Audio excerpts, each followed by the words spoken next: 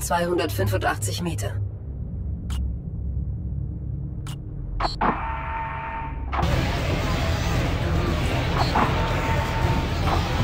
Guter Job, amigo. Danke. War nicht leicht, aber Egal. Hauptsache Brainfire wird jetzt nicht zu einer vollbewaffneten Militärstation der Atlantischen Föderation.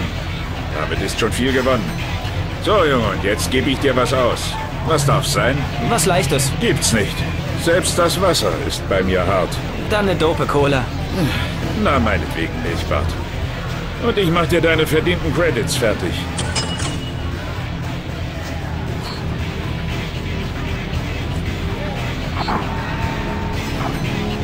Hey Kumpel, ich bin gerade dabei, die Spezialität des Hauses zu probieren. Den aufgewärmten Tsunami-Booster. Schon mal probiert? Äh, nein, ich...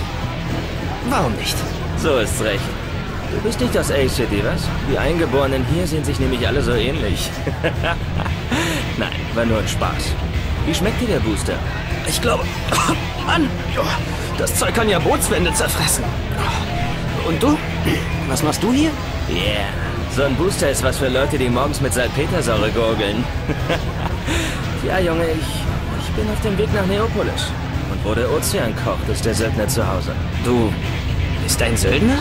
Ich bekam mein erstes Kampfboot, da war ich noch ein Embryo im Mutterleib kleiner. Mein Name ist Shantyman. William Drake. Ich bin... Ich war Frachterpilot. Vielleicht suche ich mir auch einen Job als Söldner. Pass bloß auf, Junge. Das ist kein leichter Job. Ehe du dich versiehst, reißt dir jemand den Kopf ab und du kannst aus der Ferne zusehen, was er mit dem Rest von dir macht. Er ist ein Lehrer. Jeder Söldner hat einen Lehrer. Ich hab... Nicht direkt. Kennst du Amitab? Ja? der alte Schatzjäger. Er ist zwar hart wie mein Pimmel am Morgen, aber kein Söldner.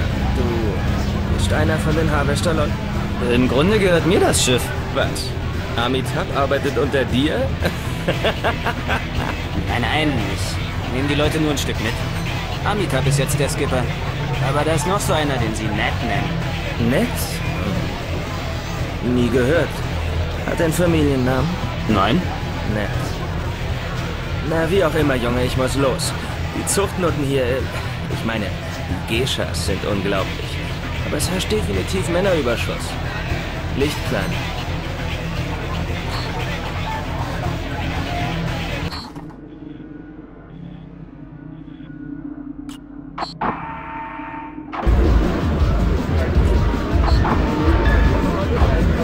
Angelina, hey, freut mich, dass du... Drake, mit wem hast du eben gesprochen? Auch nix, nur mit einem gewissen Shantyman. Nichts weiter.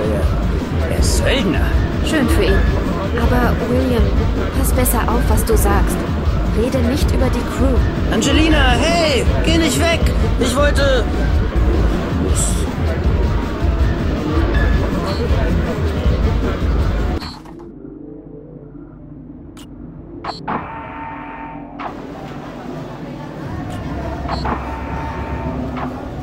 Du bist besoffen, Seemann. Nein, ehrlich. Hab nur mal an so einem Zanumi-Rooster genippt. Hör zu. Ich kann euren unterzivilisierten Captain nirgends finden. Ich habe einen gut bezahlten Job für euch. Ihr müsst mich runter zur Makina Antarktika bringen. Credits spielen keine Rolle. Credits? Ich brauche keine Credits, ich brauche Antworten. Die Welt dreht sich um mich und sagt mir nicht wohin. Ich brauche was ganz anderes. Ich brauche Antworten. Na denn. Ich habe eben mit Professor Gilmore geredet. Ich denke, sie weiß, was euer makrelenhirniger Skipper sucht. Sie könnte ein paar Antworten für dich haben.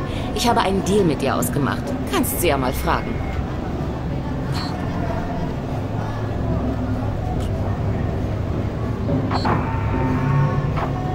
Wer spricht Redbeard an? Äh, entschuldigen Sie. Mein Name ist Drake. Ich... Verdammt, ich kenne den Scheißnamen. Bei den verfaulten Eingeweiden meiner Mutter. Drake. Genau, Drake. Anscheinend hat hier jeder ein Problem mit meinem Namen. Bist du ein Neopolis, Drake? Wieso, gibt's noch andere? Hau bloß ab oder ich mach dir einen Knoten in deinen verdammten Hals, Babyface. Ich darf genauso gut hier sein wie Sie. Zieh deine Segel ein, Mart. Oder ich schneid dir ein Luftloch in deine Kehle.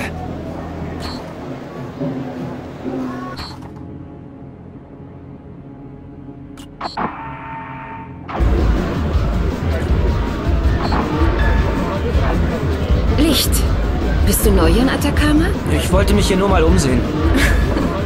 Hier ist eigentlich alles dreckig wie immer. Hauptsache, das Wasser im Hafen bleibt flüssig. Aber sag, ich kenne dich. Du hast vorher mit einem alten Freund von mir geredet. Mit Shantyman? Er hat mir einen Tsunami-Booster spendiert. Das sieht dem Kerl ähnlich.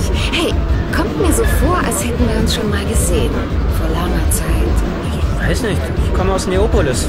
Wir wohnen erst seit ein paar Jahren vor Galapagos. Ich heiße William Drake. William. William Drake. Hey, du hast zu Shanty gesagt, ihr habt einen Net an Bord eures Schiffes. Die Harvester ist eigentlich mein Schiff. Und Ned? Ich weiß nicht. Er redet nicht viel. Er ist mürrisch.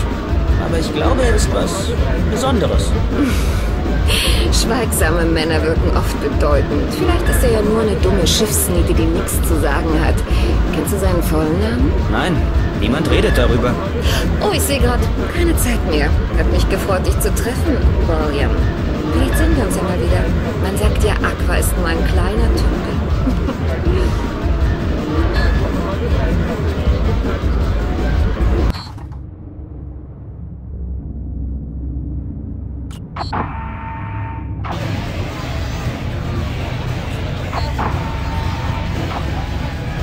Ah, mein strammer Seemann. Hab gerade mit Dr. Finch geredet. Sie meinte, du wärst zwar noch ein Baby, aber deine Crew sei schon seit Jahren auf der Suche. Auf der Suche? Nach was? Niemand sagt mir... Hör zu, Matt. Ich bin Historikerin. Ich wühle in den Abfällen vergangener Jahrtausende. Und wenn ein Kerl wie Amitab irgendwo auftaucht, ist die Vergangenheit gegenwärtig. Kapiert? Äh, nein. Sie kennen Amitab? Mann, Gilmore an Drake. Amitab ist in gewissen Kreisen eine bekannte Person, Junge. Er sucht die Vergangenheit. Und ich kenne die Vergangenheit. Ich weiß, was er sucht. Ich kenne alle alten Schriften und Überlieferungen. Auch das Book of Revelation, die Bibel aller Schatzjäger. Ich weiß, was die Vergangenheit mit der Gegenwart so alles anstellen kann. Und was sucht Amitab denn nun? Ein Grab. Amitab ist auf der Suche nach einem Grab. Ein Grab? Was? Das berühmte Felsengrab. Schon mal davon gehört? Amitab ist nicht der Einzige, der danach sucht. Nein, ja. Meine Großmutter hat mir mal davon erzählt. Kein Mensch weiß, wo es ist. Es soll nur Unglück bringen. Wer es öffnet, zieht angeblich den Zorn des zweiten Engels auf sich. Und der zweite Engel blies seine Posaune. Und es stürzte etwas wie ein großer Berg mit Feuer brennend ins Meer. Und der dritte Teil des Meeres wurde zu Blut. Ja, ich kenne diese Legende. Ja, das sagte meine Großmutter auch immer. Es stammt aus einem alten Buch. Aber wo ist denn nun das Grab? Oh, hör zu. Dr. Finch will, dass er sie zur Makina bringt. Dort unten ist wie üblich ein Machtkämpfchen unter den Dottores ausgebrochen. Öde. Aber Finch kann meine Position dort stärken. Deshalb dieser Deal. Oh je, ein Deal. Genau. Ihr bringt Finch zur Makina. Von dort aus nehmt ihr Kurs in den Atlantik, bis ins argentinische Becken. Dort warte ich auf dich und erzähl dir den Rest. Und wie soll ich meinen Skipper dazu bringen? Der wird mich Kiel holen. Wird er nicht. Weil du ihm sagst, dass du genau weißt, was ihr sucht. Und jetzt kommt der Witz. Wo es ist. Aber zuerst bringt diese Sauermuschel Finch zur Makina runter. Okay, ich versuch's. Sie. Sie lügen mich auch nicht an? Nein, sorry. du bist echt naiv, Junge. Aber im Ernst. Ich geb dir mein Wort.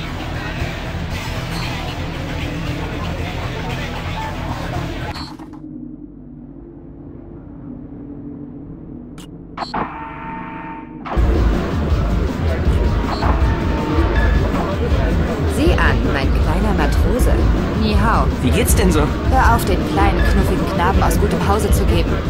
Wer war die blonde Braut, mit der du so traut geplaudert hast? Eine Forscherin aus der Makina. Eine Forscherin, wie süß. Du stehst also auf langmähnige Weiber mit Doktorgrad oder was? Es war nur geschäftlich. Ach so, geschäftlich. Okay, wie viel verlangt sie? Ich. ich verstehe nicht. Schon gut, Xiao Long, schon gut. Vielleicht bin ich ja eifersüchtig. Eifersüchtig? Aber wir haben bloß über Dr. Finch gesprochen. Kleiner, irgendwie kriegst du das Wichtigste nicht mit, scheint mir. Und was ist das? Ich! Ich, du Makrelenfurz! Sieh mich an! Okay, in A-City gibt's genügend Gelegenheit für Mädchen wie mich Spaß zu haben. Aber Bei den Eiern des Shogun. Du willst es nicht kapieren, was? Na, ich verschwinde dann mal und suche mir einen echten Kerl, der mir die Spinnweben wegfegt. Und du? Ja? Du solltest dir erstmal ein vernünftiges Boot besorgen. Ist das ein Spielzeug für die Badewanne? Sonst nimmt dich ja überhaupt keiner mehr ernst, mein kleiner Drache.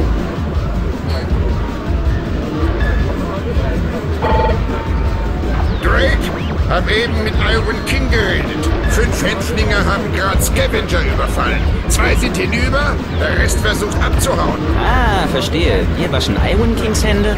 Genauso, niemand will den mächtigsten Warlord der Zone zum Feind. Außerdem wäre das eine günstige Gelegenheit, dir mal eine vernünftige Brick zu verschaffen. Eine was? Ein neues Boot, Quappe. Aber red erst mal mit Fuzzyhead, der hat Neuigkeiten für dich.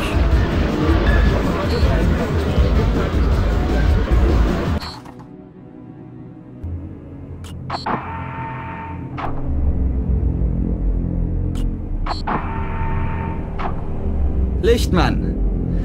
Ah, ich fühle mich in Waffenkammern am wohlsten. Wie steht's mit dir? Naja, ich bin im Transportgeschäft. Wirklich? Na, in diesen unsicheren Zeiten sollte man sich dann aber nur das Beste vom Besten gönnen, junger Mann. Wie heißt denn dein Frachter? Harvester. Ich bin William Drake. Nenn mich Hamlet. Meine Freunde nennen mich so. Naja. Wer hat schon Freunde heutzutage? Ah, ja, wirklich. William, immer wenn jemand dein Freund sein will, sei so nett und jag ihm mit deiner Railgun ein paar Nadeln in die Fresse, bevor du ihm vertraust. Also, sind wir Freunde? Ähm, ja, sicher. Und gleich durchgefallen. Aber sei es drum, William Drake, Skipper der Harvester. Was ist dein Ziel? Keine Ahnung, Hamlet. Das ist ein schönes Ziel, Junge.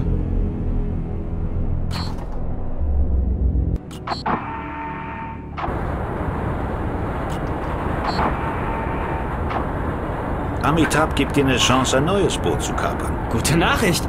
Was soll ich tun? Rauch allein bringt keine Suppe zum Kochen, Junge.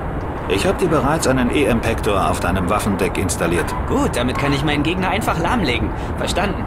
Und dann... Dann sammle ich alles ein, was zu bergen ist und zimmere dir was Feines zusammen. Übrigens, Amitabh meint, ich soll dich mit unserem Ehrenkodex vertraut machen. Aha. Ist das meine Einweihung? Abwarten. Also, Punkt 1. Wir greifen uns niemals gegenseitig an. Zweitens. Ein Wettkampf wegen Beute untereinander ist aber immer drin. Jeder darf dir was vor der Nase wegschnappen. Verstehe. Nur der Beste überlebt. Und drittens, wer die Beute birgt, dem gehört sie. Ich modifiziere alles, damit die Beute auf eure Boote passt.